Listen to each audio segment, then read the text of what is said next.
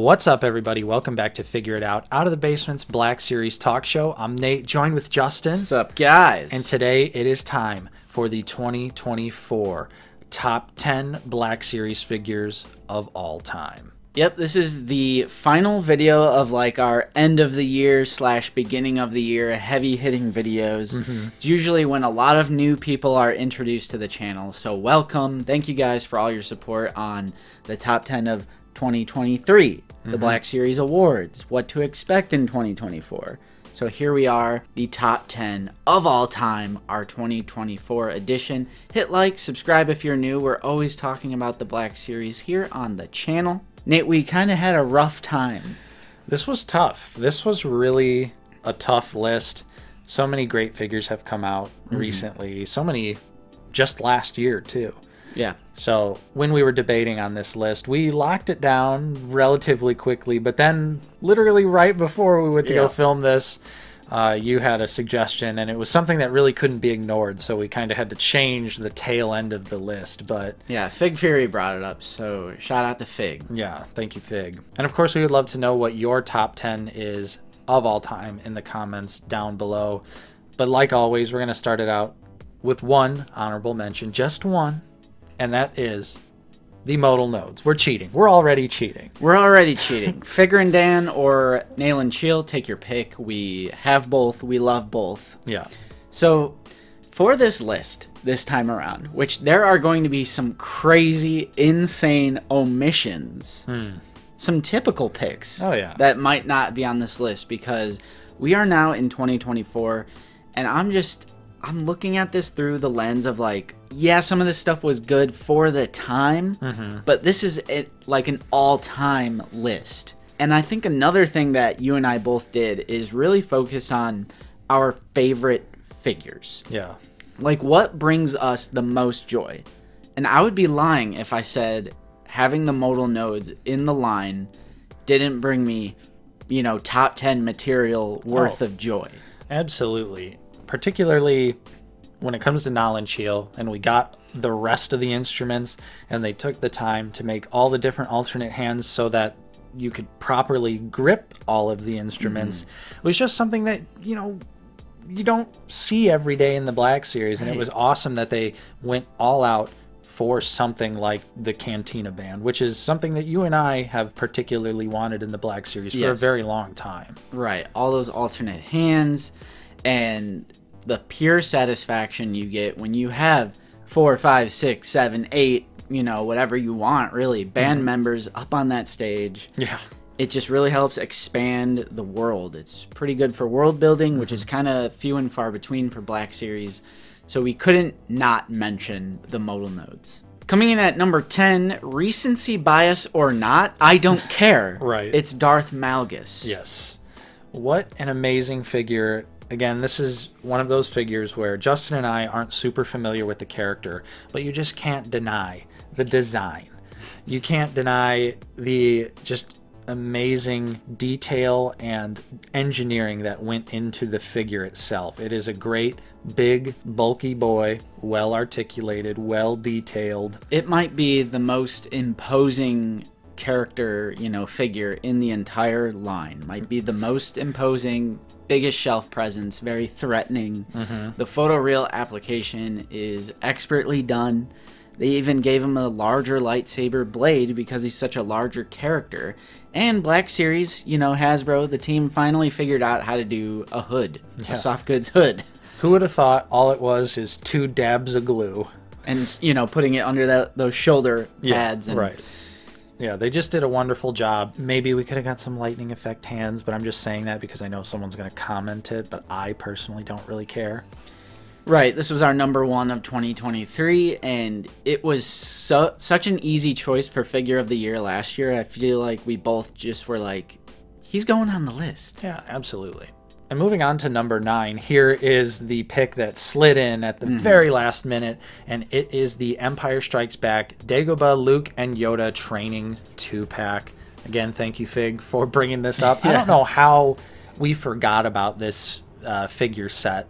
the best Luke Skywalker. Oh yeah, absolutely. I think strongest Mark Hamill likeness, best articulation. Right. The Yoda is a 100% new sculpt Right. that is properly scaled. Also comes with an alternate head where he has his eyes closed so he could stick his hand out like he's using the Force. Mm-hmm. The backpack, putting him on the backpack, you know, Luke also comes with an alternate hand of either a Force push or the handstand. Well, he comes Hand. with he comes with two because he also comes with the uh, X-wing raising hand as Right, well. So, so- we got some alt hands with the set. And you could literally have him handstanding. Yeah, I did in my review back in the day. Mm-hmm. You can watch me live handstand him unedited, and I wanted to make sure that I did that in the video, and I actually did it. And that is again a testament to the engineering of the Luke figure. They made sure that you could freestand pose him one-handed. Yeah. like crazy. Such a great value for what's included. Super iconic set. I love that Hasbro's kind of bringing back two packs. Mm-hmm. So hopefully they keep that going. So that is our number nine pick. Number eight is Cad Bane from the Clone Wars. A pretty common appearance, Mhm. you know, on the top 10 of all time list, but well deserved. Yeah, absolutely. It, again, it was one of those figures that this was kind of around the turning point of the Black Series when we entered into what we like to refer to as like the golden age, Yes. um, where the figures have just been incredible. The character selection off the hook, and this Cad Bane was something that we wanted for a really long time, and they just absolutely crushed it. We knew we were like aliens are always going to be good in the Black Series, Yes. but they just took it to a different level with with this Cad Bane.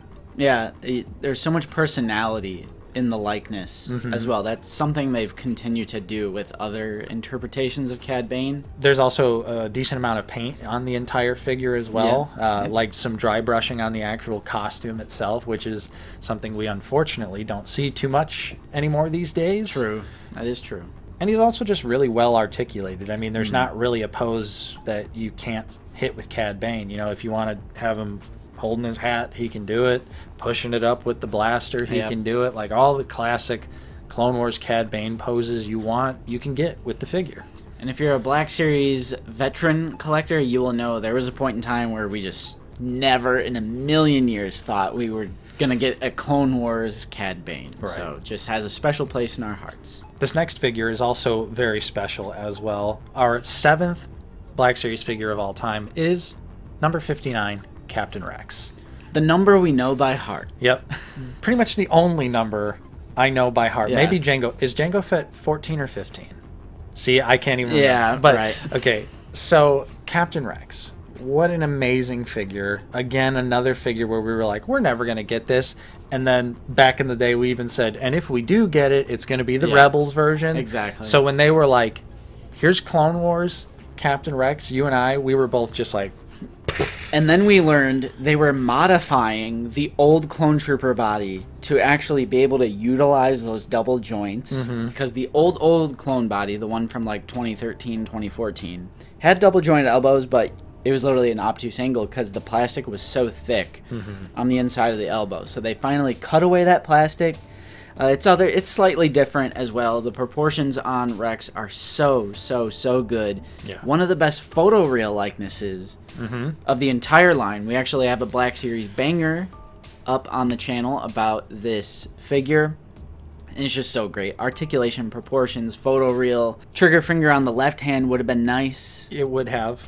Expert weathering too. Back in the day when Hasbro Yeah. knew how to do proper paint and weathering for Black Series. Yep. One of just the best examples of a figure that is a little bit older, but still actually stands up today, you know? Yeah, art- more than holds up. articulation's a little dated, but just the full package of, of Captain Rex, mm-hmm. y- you understand why he's the most expensive Black Series figure. Mm-hmm. Number six is a brand new figure, and this is something we have been waiting like a decade for. Literally a decade. Yep. And it's R2D2. The new sculpt, the 100% new Astromech. I know some people are probably going to think recency bias on this one, but this figure was just a godsend because it was mm-hmm. so desperately needed. Yep, for years and years and years, as most veteran collectors know, the R2D2 body was severely undersized, like mm-hmm. comically undersized. Yes. And they just continued to release every single astromech on this same body. So we got an R5 and it was too small. We got Dagobah R2 again too small. We got a bunch of different Imperial repaints Yeah. and they all suffered from the same issue. This figure was just way too small and had that really awful gimmick where you had to twist the Yeah, head. and the clicking. and I'm like, this is a Happy Meal toy. It was Happy Meal toy level. So this one, it's like aesthetically and visually, it's essentially the same, but you also have the removal of that gimmick and the mm-hmm. addition of the accessory storage thing where you can put all the accessories in. That's something that import level R2D2 figures don't even have. So mm-hmm. that was a bit of cool engineering so you don't lose your accessories. The visual look is there, the shelf presence, the scale, and this is one of those where it was just so desperately needed and it delivered in spades. So I'm like, top 10. Oh yeah, hundred percent. Number five is really no surprise from us. It's the 2020 Imperial Stormtrooper masterpiece figure. Yeah, we used to not include this on our top 10 of all time lists. I think last year we finally had it as an honorable mention. Wow. But the more I thought about it, I'm like, why is this not on the top 10? It is one of the best Black Series figures of all time. It is the best army builder mm-hmm. of all time out of any modern line. Yeah, I agree. It is a perfect representation of the Stormtrooper as far as proportions. Articulation with the butters and the deep cut single with the swivel. Mm-hmm. Their ability to aim down the sights is unmatched in the Black Series, Yep. honestly. Give me a holster mm-hmm. for the, you know, it's like half and half. The Right. ones in the original trilogy who have holsters. And yes, there are stormtroopers in the OT that do not have holsters. So don't comment that, please. I agree with you. I want one with the holster Yeah. just to have that representation. They're more common in like A New Hope, mm-hmm. but masterpiece figure. Yeah. One of the absolute best. Speaking of masterpiece figures, Nate, we're in the top four. Yes. This is a very typical choice for us. Coming in at number four is the Gamorrean Guard. Originally a deluxe from Target, and then re released as a deluxe at Target. Mm-hmm. But this time on a card back. It's like either or the paint, Yeah. the, sh- the shading, the wash. it's one of those figures that just Hasbro goes so hard on, and you're like, why? It's the Gamorrean guard. Yeah. Like, of course, it is a great figure. It's an awesome design. I love Gam guards, but you're just like, of all the characters to go this hard on, Yep. it's the Gamorrean, and they absolutely did. Like you said, tons of paint. Great articulation, big bulky boy that's well articulated. The articulated jaw, one of the best features. Oh, yeah. And The painted tongue and the inside of the mouth is so good. it's always heartbreaking thinking about those. We're gonna mention it. The Rancor photos where like the Gamguard just had so much personality, and it would have been so great to have that pose on my shelf. He's like, running away Yes. for the Rancor when Yep. it's holding it, about to eat it. yeah, and you're just like, "Mm, what could have been? Right. The weapons have paint on them. They have like Yeah. this rust detail on him. The soft goods, expertly done. Yeah, really well Especially. Mm-hmm. for being, you know, kind of big and poofy, but it looks photorealistic. The pelt, you know, thing on the figure is so good and it doesn't take away from the figure and that's kind of a problem with Black Series is sometimes soft goods will actually make it look goofy. It'll Yeah. make it look like a doll Right. But not with the Gamorrean Guard. It's just it's perfect. Mm-hmm. And it's one of those figures that I am super happy that it continues to get re-released, Yes. and it's never really fallen out of like print, so to speak. So Right. it's been pretty easy to get because it's a masterpiece, and you need two for your shelf. Oh my goodness, Nate. We are I'm looking at these final three and they're just all so good. I feel like they're all interchangeable, Oh, under the right circumstances, they absolutely could be.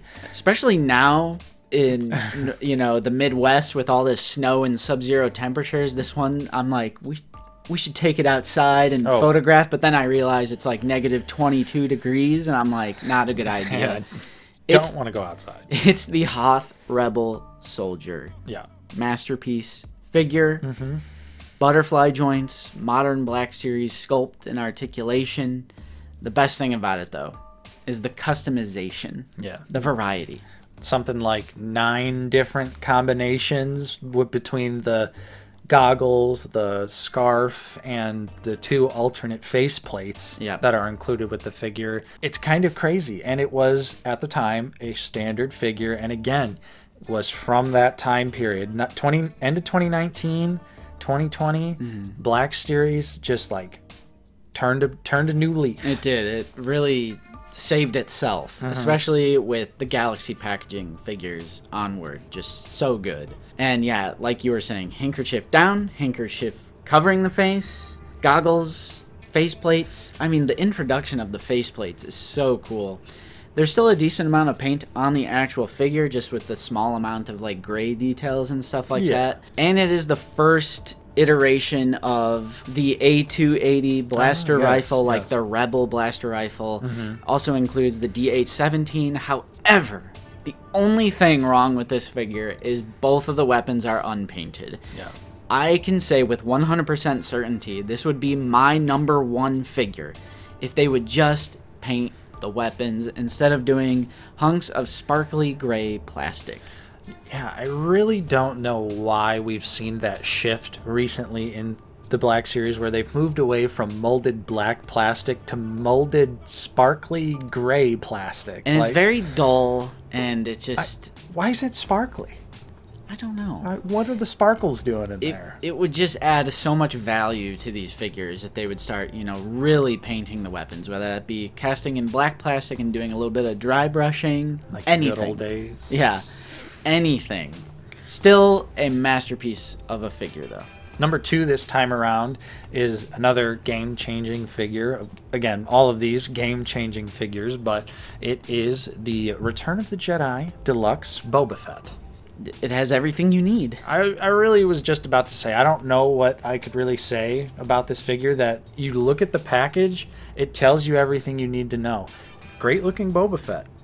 All of these accessories. Wow.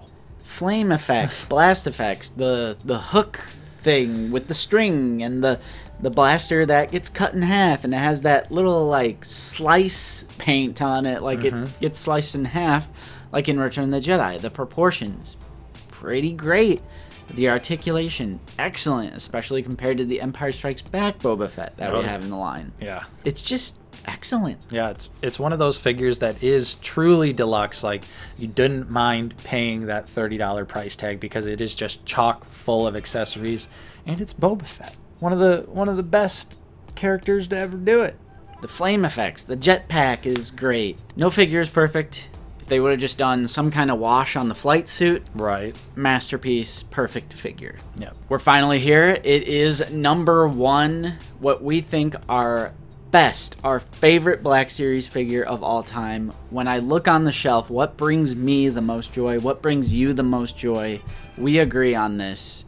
Our number one Black Series figure of all time is the Amazon exclusive deluxe Emperor Palpatine that comes with his throne. Justin, where's the Sand Trooper? We will explain that at a later date. This figure comes with three alternate heads, which is basically unheard of mm-hmm. for the Black Series. Mm-hmm. And for the first time in the line, it came with lightning hands. Yes. This was something that was desperately needed in the Black Series. At the time, Emperor Palpatine was a pretty hard figure to get. Mm-hmm. And not only that, wasn't a very good figure. Ooh, no, he no, no. originally had a hard sculpted plastic Yep. skirt. Did not come with the throne as well, so but people would, you know, custom print the throne. You couldn't get him to sit because of the hard plastic. So they slightly retooled it, gave him all soft goods, included the throne, and the throne is incredible, really nicely detailed, great paint apps. I love the purple chair. Yeah, like, Like, a purple cushion. I'm just glad that Palps has he's just like I want a purple cushion. Yeah, and that there's nice painted detail on both, you know, arms of the throne. Mm-hmm. And like you said, they just completely fixed the blue line figure, which is pretty bad. And he can sit perfectly. Alternate heads. Do you want him grinning, or do you want him more neutral, or do you want, you know, his I'm gonna kill you face with his Force Lightning. Right. The Force Lightning also very very good. It is definitive, and that's you know all the way back in 2013 they marketed these figures as definitive, and I was like, okay, that's a definitive Emperor Palpatine. And it's like if someone forced me to keep only a small amount of my collection, it would be Emperor on his throne, a Vader, and a couple stormtroopers. You know, if I had to limit my collection down, Oh yeah. I'm keeping that Emperor. Yep.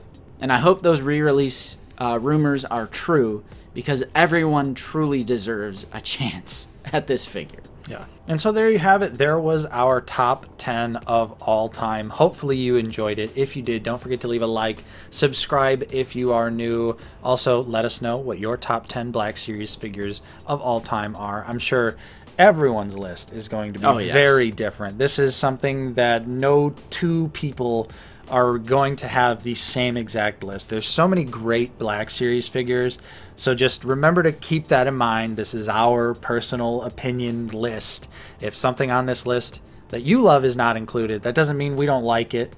That just simply means just didn't make the cut for us. Yeah, I mean, we didn't have a Vader on this list. Yeah. We didn't have the Sand Trooper on this list. right, There were right. some omissions. Yeah. You know. And like we said, we're definitely going to let you know why those figures aren't included anymore, but that'll be in a later video. So subscribe and stay tuned for that. And if you'd like to support the channel, we do also offer a channel membership. There are a couple different tiers. You can check them out. There are links down in the description below. Also, make sure to join that Discord. Get connected with the community. Lots of like minded, positive collectors over there Yeah. to just talk and discuss and enjoy the hobby because that's what we should do. This hobby should bring us joy, it shouldn't bring us pain and misery. For sure. We just hit 1,000 members of our Discord, so it's definitely the Cool Kids Club. It's the place to be. You know where else is the place to be? Every Sunday at 1 p.m. Central Time here on the Out of the Basement YouTube channel, we do live streams. Yes. We just did a live stream this previous Sunday with Shill Squad, which is our little joke. It's Mike Case, Lance Spear, Luke, and Zach from the Black Series Cantina podcast. Super fun time. Mm-hmm. And we'll probably have a guest this week too. Yeah. Join us. As always, big shout out and special thank you to our current channel members. Your continued support is truly appreciated. And thank you to everyone else out there for watching. I'm Nate, joined with Justin, See you guys later. and we will see you all next time on Out of the Basement.